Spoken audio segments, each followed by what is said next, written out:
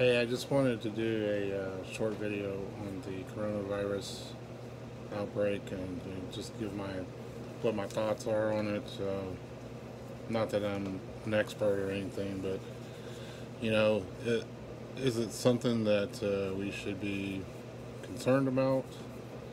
Um, in China, I think the news today uh, has been talking about there's been 6,000 reported cases and something along the lines of 160, 150, 160 deaths, somewhere in that neighborhood. But um,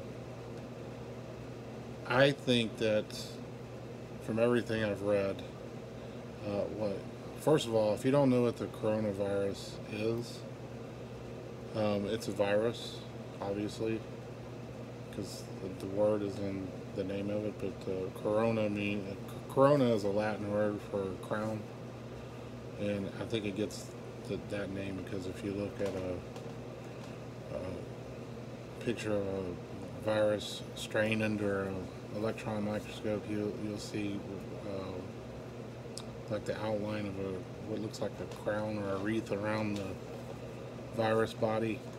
So that's where the name originates, but uh, getting back to China, um, like I said, 6,000 reported cases, somewhere in the neighborhood of 150 to 160 deaths. Uh, there's been a few uh, people in the, in the, United States that have been uh, admitted for this, but um, so far it's only been a handful of cases.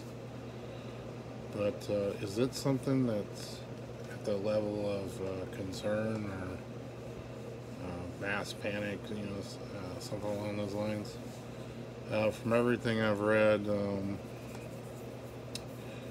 I think they're going to declare it a, a, an emergency, um, at least in the, in, in the Asian part of the world. But as far as the rest of the world goes, um, I read an article today from the New York Times that said that it is cause for alarm, but it's not cause for panic or, um, you know,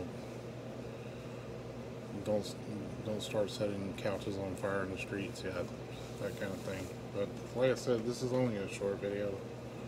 Um, just kind of my thoughts on it. Um, I've always been interested in, in, things like that, like pandemics and whatnot. But this one looks. Uh, it definitely looks frightening, but um, I don't think it's. Uh, it, chances are it will, it will, probably spread some more, but it's uh, it's basically just a very strong strain of the common cold is is really what it is. Um, yeah, that can kill like you know